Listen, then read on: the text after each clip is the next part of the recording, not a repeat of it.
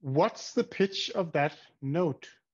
Well, if you have absolute pitch, the rare ability to name pitches without a reference, then you would most probably be able to name the pitch of this oboe note. In fact, according to the theory of instrument-specific absolute pitch that Lindsey Reymore and I, Niels Christian Hansen, present here, there's a good chance that you will also know the pitch if you play the oboe, even if you don't have absolute pitch. So what was that note? Stay tuned to find out at the end of the presentation. Absolute pitch has been studied quite extensively over the past several decades. For example, we now know that people are usually better at naming the pitch of complex tones than of sine tones. Yet, research efforts have somewhat neglected to study the common observation that some people, maybe yourself included, can better identify pitches played on their primary instrument than pitches played on other instruments. In this project, we set out to develop and test a formal theory of this ability, which we call instrument specific absolute pitch, or ISAP. We think that this advantage may be related to the kinesthetic experience and intimate familiarity with an instrument's timbre that instrumentalists develop after many hours of daily practice. Our work so far has been published in two journal articles. In the first one, in Frontiers in Psychology, we presented our theory of ISAP and proposed several candidate mechanisms. We also reported results from case studies with two oboists. The second article in One is a registered reports protocol. Here we presented our plans to test the ISAP theory by conducting two experiments on a larger sample of oboists. Results are forthcoming. The goal of experiment one is to test whether our oboist participants show more accurate and more precise pitch identification for oboe tones compared to piano tones. To do so, we will meet virtually with professional oboists who identify the pitches of single note oboe and piano stimuli from the McGill University Master Samples or MUMS library.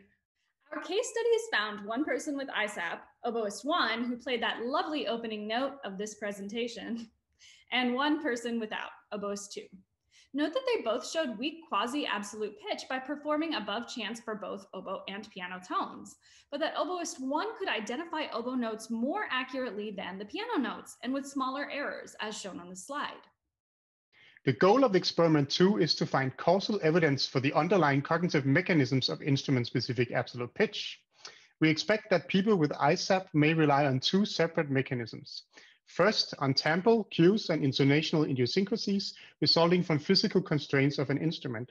Second, on articulator motor planning, hearing a given tone may activate the motor patterns required to play that specific pitch. We interfere with these proposed mechanisms by artificially pitch shifting tones and by asking participants to hold a pencil between their teeth and to wiggle the fingers of their left hand continually.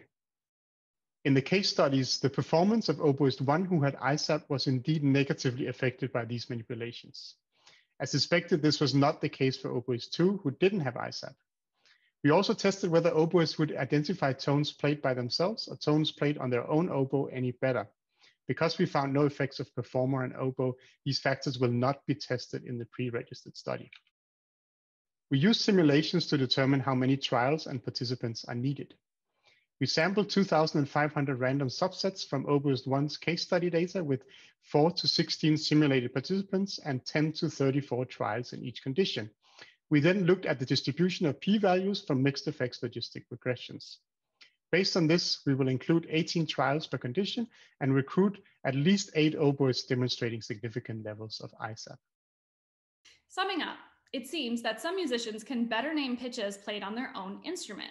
These people with instrument-specific absolute pitch may be relying on timbral and intonational idiosyncrasies and articulatory motor planning. One of the two oboists in our case studies had ISAP. Her accuracy diminished for pitch-shifted notes and during motor interference. Our pre-registered study will assess the prevalence of ISAP among oboists and test whether these two mechanisms are used widely by those with ISAP. Stay tuned for our results. But wait, what was the pitch of that tone you played, Lindsey?